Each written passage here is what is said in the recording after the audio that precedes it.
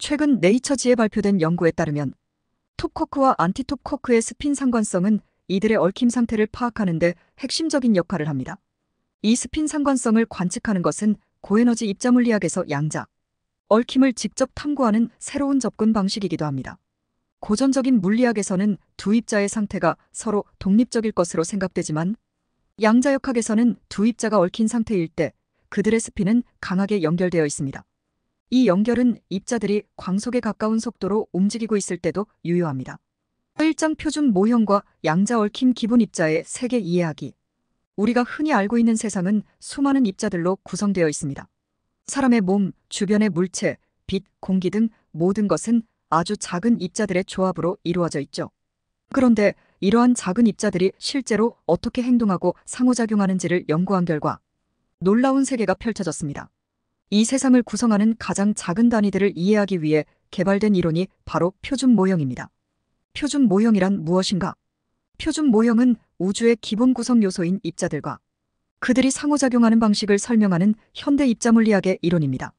표준 모형에는 크게 세 종류의 기본 입자들이 있습니다. 쿼크, 렙톤, 그리고 게이지 보손입니다. 쿼크는 양성자와 중성자 같은 핵자들을 구성하며 렙톤에는 전자와 중성미자 등이 속합니다. 게이지 보손은 입자들 사이의 상호작용, 다시 말해 힘을 매개 하는 역할을 합니다. 예를 들어 전자기력은 광자라는 보손에 의해 매개되고 강한 상호작용은 글루온에 의해 매개됩니다. 이런 입자들 중에서도 쿼크는 상당히 흥미로운 특징을 가지고 있습니다. 쿼크는 자연의 6가지 마플레이버로 존재하는데 그중 가장 무겁고 수명이 짧은 것이 바로 톱쿼크입니다. 이 톱쿼크는 그 특이한 특성 덕분에 양자 얽힘을 연구하기에 적합한 대상이 됩니다. 양자 얽힘의 세계.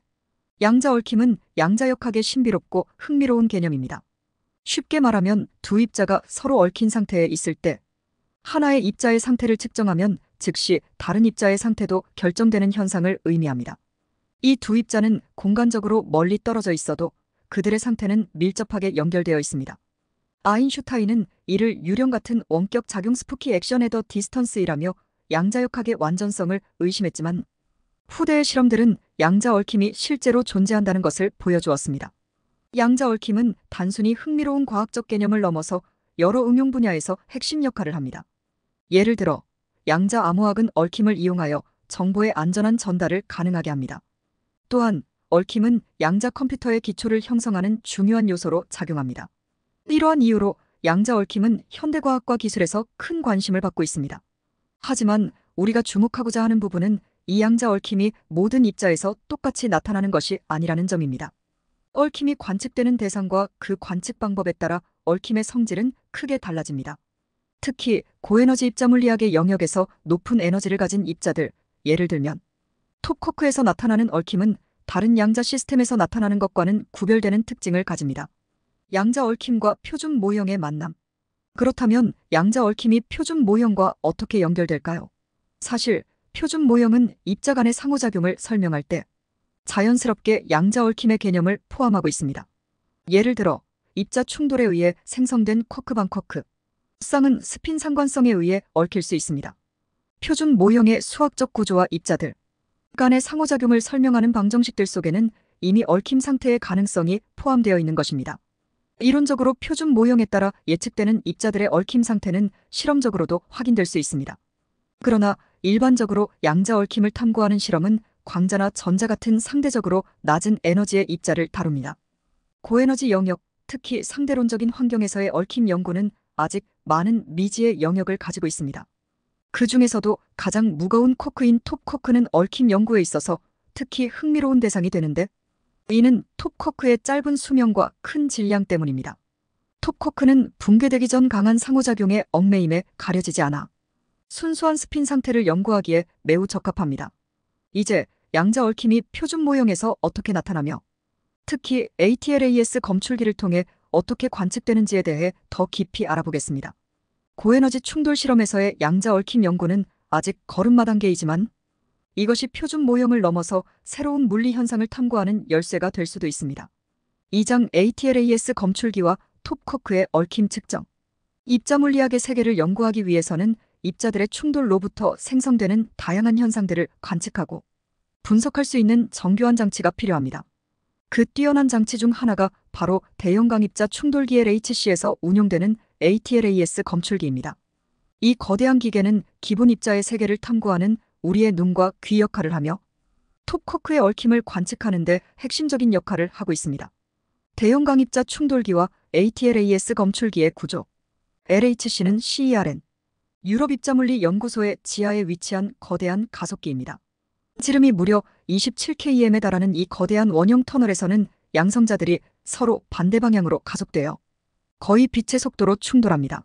이 충돌을 통해 막대한 에너지가 발생하며 이 에너지가 곧 새로운 입자들의 생성으로 이어집니다. 이렇게 만들어진 입자들은 매우 짧은 시간 동안 존재하다가 붕괴되어 다른 입자들로 바뀌게 되는데 ATLAS 검출기는 이 과정에서 나오는 모든 정보를 포착하여 저장합니다. ATLAS 검출기는 여러 층의 관측 장비로 구성되어 있습니다. 먼저 충돌 지점에 가장 가까운 곳에는 내부 검출기 이너 디텍터가 위치하여 충돌로 생성된 입자들의 궤적을 추적합니다. 그 외곽에는 전기 및 하드론 칼로리미터가 위치하여 입자들이 남기는 에너지 정보를 측정하고 가장 바깥쪽에는 뮤온 스펙트로미터가 있어 뮤온과 같은 입자들의 위치와 에너지를 기록합니다. 이러한 복합적인 구조는 충돌로 인해 생성되는 다양한 입자들의 종류, 운동량, 에너지 등을 상세히 파악할 수 있도록 설계되었습니다. 그러나 이 모든 것이 단순히 입자를 관찰하는 것만을 목표로 하는 것은 아닙니다. ATLAS 검출기는 방대한 양의 데이터를 수집하고 처리하여 그 속에서 의미 있는 물리 현상을 찾아내는 것이 목적입니다. 이 과정은 매우 복잡하고 충돌로 인해 생성된 모든 입자를 분석해야 하기 때문에 입자의 궤적 에너지, 붕괴, 산물 등의 수많은 요소를 통합적으로 해석하는 과정이 필요합니다. 톱코크 얽힘 연구를 위한 완벽한 후보. 그렇다면 왜 톱코크가 얽힘을 연구하는 데 있어 특별한 것일까요? 이를 이해하려면 먼저 톱코크의 독특한 특성에 주목해야 합니다. 톱코크는 표준 모형에서 가장 무거운 기본 입자로 그 질량은 양성자보다 약 180배나 큽니다. 이처럼 큰 질량은 곧 짧은 수명으로 이어지는데 톱코크는 생성된 후 약 12-25승초 만에 붕괴됩니다. 이 수명은 코크가 강한 상호작용에 의해 얽매이기에는 너무 짧습니다. 다시 말해 톱코크는 붕괴되기 전에 강한 상호작용이 그 상태를 흐리게 만들지 못합니다. 이러한 특성 덕분에 톱코크는 순수한 상태를 유지한 채로 붕괴하며 그 붕괴 산물에는 원래 톱코크의 스핀 정보가 고스란히 담겨 있습니다. 이러한 정보는 ATLAS 검출기를 통해 관측할 수 있으며 톱쿼크와 안티톱쿼크 사이의 스핀 상관성을 측정함으로써 그들이 얽힌 상태에 있는지 판단할 수 있게 됩니다. 톱쿼크에서 얽힘을 측정하는 방법 ATLAS 검출기에서 톱-안티톱쿼크쌍의 얽힘을 측정하기 위해서는 충돌로부터 생성된 입자들을 추적하고 그들의 붕괴 산물을 정밀하게 분석해야 합니다.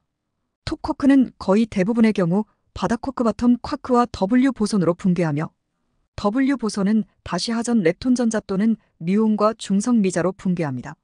이 과정에서 생성되는 하전 렙톤들의 각도와 스핀은 원래 톱쿼크의 스핀 정보를 담고 있습니다. 따라서 이 렙톤들의 궤적을 추적하고 그들 사이의 상관성을 분석하는 것이 얽힘을 파악하는 핵심입니다. ATLAS 검출기는 충돌 지점에서 생성된 입자들의 운동량, 에너지, 궤적을 정밀하게 기록합니다. 이를 통해 톱코크의 붕괴 산물인 하전 렙톤들의 방향을 측정하고 이로부터 그들의 스핀 정보를 추론할 수 있습니다. 이때 사용되는 주요 지표 중 하나가 바로 D값입니다. 이 값은 하전 렙톤들 사이의 각도, 분포를 분석하여 얽힘 상태를 파악하는 데 사용됩니다. 논문에서는 이 D값을 측정하고 이를 통해 톱코크와 안티톱코크가 얽혀 있는지를 확인했습니다. 그 결과 이들의 스핀 상관성이 높은 에너지 스케일에서 얽힘의 증거를 제시하고 있음을 발견했습니다. 이는 고에너지 입자 물리학에서 양자 얽힘이 어떻게 나타나는지를 밝히는 중요한 실험적 결과로 표준 모형을 넘어 새로운 물리 현상에 대한 탐구의 문을 열어줍니다. 이렇게 ATLAS 검출기의 세밀한 구조와 톱코크의 독특한 특성을 이용하면 이전에는 관측할 수 없었던 상대론적 얽힘의 세계에 한 발 더 다가설 수 있습니다.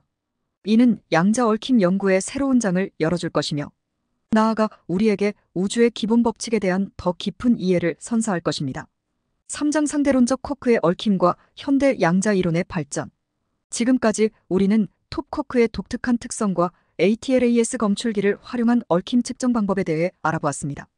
이러한 연구는 기본 입자들이 상호작용하는 방식을 이해하는 데 있어 중요한 첫걸음입니다. 하지만 여기에서 멈추지 않고 더 나아가야 합니다. 특히 고에너지 상태에서 나타나는 상대론적 쿼크의 얽힘 상태가 어떤 의미를 가지는지 그리고 이를 설명하는 최신 양자 이론이 어떻게 발전하고 있는지 살펴보는 것이 중요합니다. 이는 양자 얽힘을 현대 물리학의 맥락에서 더 깊이 이해하고 나아가 새로운 물리 현상의 가능성을 탐구하는 길을 열어줍니다. 스핀 상관성을 이용한 얽힘 상태 관측. 최근 네이처지에 발표된 연구에 따르면 톱코크와 안티톱코크의 스핀 상관성은 이들의 얽힘 상태를 파악하는 데 핵심적인 역할을 합니다. 이 스핀 상관성을 관측하는 것은 고에너지 입자 물리학에서 양자, 얽힘을 직접 탐구하는 새로운 접근 방식이기도 합니다. 고전적인 물리학에서는 두 입자의 상태가 서로 독립적일 것으로 생각되지만 양자역학에서는 두 입자가 얽힌 상태일 때 그들의 스핀은 강하게 연결되어 있습니다. 이 연결은 입자들이 광속에 가까운 속도로 움직이고 있을 때도 유효합니다. ATLAS 검출기는 이러한 스핀 상관성을 관측하기 위해 충돌로부터 생성된 토반티톱 코크쌍의 붕괴 산물을 추적합니다. 붕괴 산물인 하전차지들 렙톤들의 각도와 방향을 정밀하게 측정함으로써 이들의 분포에서 스핀 상관성을 파악할 수 있습니다.